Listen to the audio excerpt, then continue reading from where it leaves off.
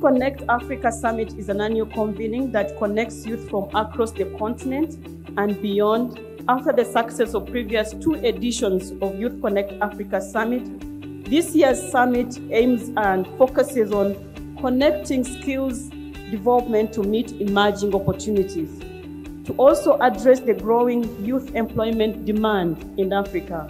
Business people equipped with a strong entrepreneurship will lead Africa's future after all. Impossible is not a word in the Rwandan dictionary. And today, I want to say to everyone, impossible should no longer be a word in the African dictionary.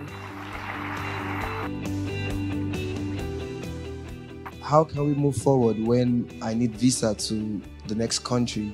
How can we move forward when it's a lot easier to send money from Nigeria to America, but it's difficult to send money to South Africa. Youth Connekt really means integration. It's a higher form of integration. Just connect means connecting people wherever they are in this world.